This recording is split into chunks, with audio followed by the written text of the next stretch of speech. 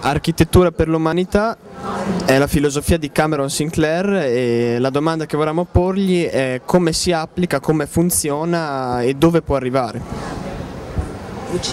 It's less about a philosophy and more about action.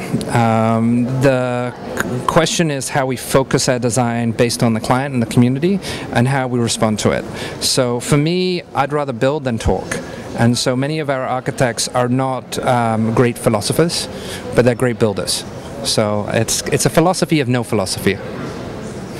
è una filosofia della non filosofia, credo che per me Architecture for Humanity non è tanto una filosofia quanto un modo di agire, per cui credo che esistano grandi architetti che non sono grandi filosofi ma grandi uomini di azione che agiscono piuttosto che parlare.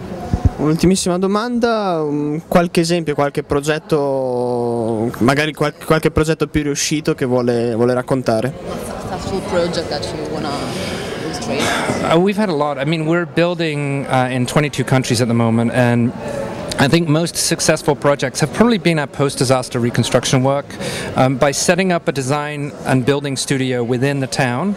Um, so in the case of East Biloxi, we set up a studio, we staffed it with architects, we worked with the community hand in hand, and we ended up being a part of rebuilding 90% of the whole city. And we did that in less than three years, and we did it all with individual funds and no government involvement.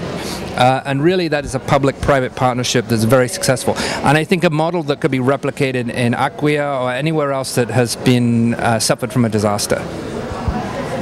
Which city, sorry? Which? Uh, Biloxi, Mississippi. So, mm, noi lavoriamo, abbiamo progetti in 22 paesi e mm, siamo, interioriamo soprattutto, credo probabilmente i progetti di maggior successo sono quelli in situazioni eh, post-catastrofe. Noi lavoriamo, mm, lavoriamo, a stretto contatto con le persone, per esempio mm, parlo della, della zona della, dopo la tragedia del Mississippi, quindi la zona del Mississippi, l'abbiamo ricostruito in meno di tre anni, quasi il 90% delle, delle case, delle città. Lavoriamo in stretto contatto con le persone, mettiamo lì i nostri, i, i nostri uffici, lavoriamo con le persone del luogo con soldi che sono nostri e non dati dai governi, quindi credo che sia un modello che si possa riproporre e ripresentare in tante altre situazioni, soprattutto dopo i disastri e catastrofi.